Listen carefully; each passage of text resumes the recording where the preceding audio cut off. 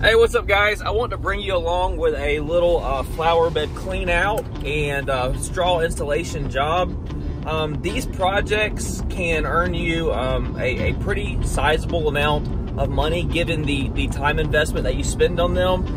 And I, I touched briefly on this with uh, a member of the Turf Pros Academy the other day. He was asking about pricing landscaping jobs and, and he was basically saying, hey, I am trying to price some landscaping jobs, but I just feel like my my quotes are too high for what people are able to spend. We're going to look at this flower bed together, and and me and you are going to say all this needs to be torn out, and we need to come in here and do this job, and it should be three thousand to four thousand dollars um, to do this job appropriately. Tear it out, redesign it, and put in plants and everything. The client doesn't have that budget.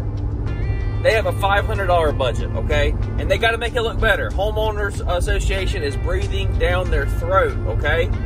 How do you help them come up with something that's economical, um, that will get the Homeowners Association off their back, and, and just provide some value to your clients? I want to show you how I do these projects, make pretty good money, while also providing uh, pretty good value to the client. All right, we're about to jump out and look at this property. Um, but I already have started the cleanup on this, but I want to uh, talk through through what I've done. Whenever you see these flower beds that are they're overgrown, typically the most cost-effective thing is to do this. Trim hedges, cut down the weeds in the flower beds with your weed eater, cut a new edge on the flower bed border, like cut a cut a nice edge, spray everything with Roundup that is like low-lying weeds, then install pine straw or some type of other economical, you know, it could be mulch or something. So short of pulling out all the plants and excavating the soil and bringing in compost and doing a plant design and putting in, you know, all this stuff, people can't afford that. Like there's a lot of people that can't afford that, okay? So again, what we're talking about, we're not talking about, you know, creating the most amazing flower bed. You have to work within people's budget, okay? And you have to be able to have that back and forth. Because, you know, if you can't execute a project to make it look good for like a, a, a low budget, then I wouldn't even do the job.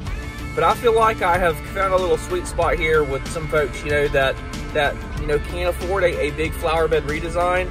They can only afford the basics, and here's a little like a little economy package, man, a little value package that I put together for them. You know, about 500 bucks, and uh, we're in and out of here, you know, in less than like an hour, hour and a half to get these projects done. Um, so here's what we got.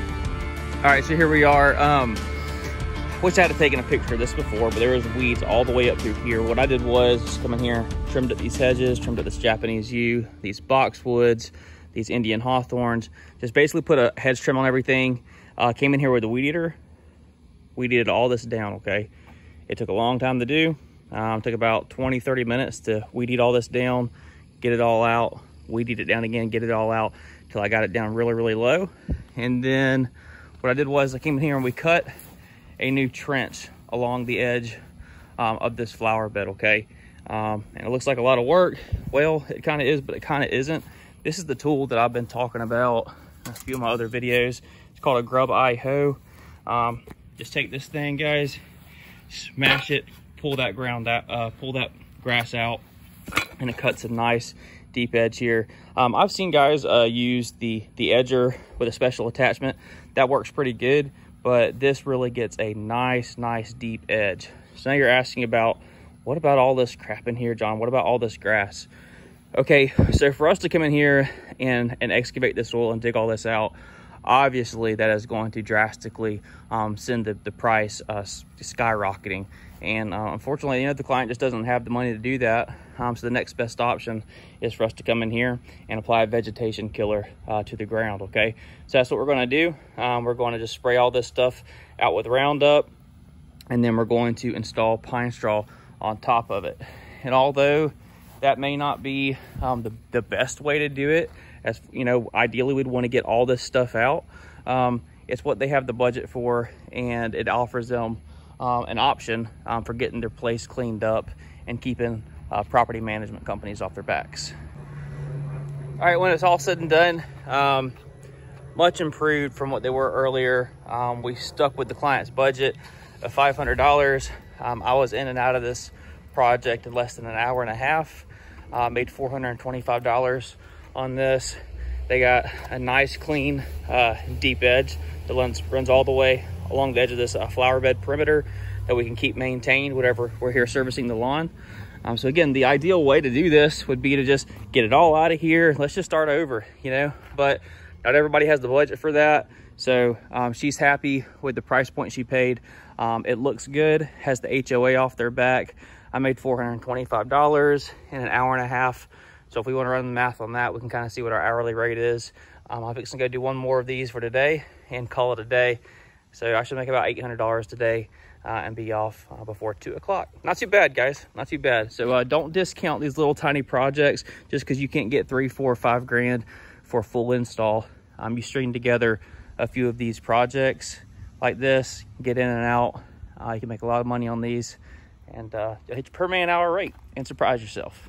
All right, guys, so one more time, the key to this uh, project is communication with your clients, understanding what their expectations are based on their budget, okay? Um, not everybody can just say, hey, yeah, do it up for four grand. You know, I've had people that I ask them, say, hey, what are your expectations? They're like, hey, I got a $10,000 budget. Let's just do it up. Like, that's a different story, you know? Not everybody has that, and that's okay. It's your job to solve a problem um, for people. Uh, and, and what I just showed you, trimming hedges, weed eating down the weeds, applying a vegetation killer as long as you're allowed to do that, and then installing pine straw.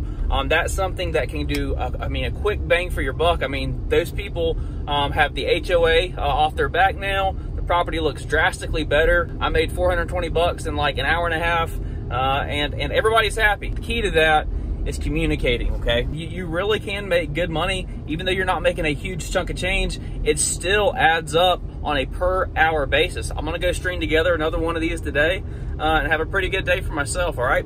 Guys are out finishing up some lawn mowing. I got a couple more estimates to do. I'm gonna go check in with them, uh, make sure that they don't need anything from me.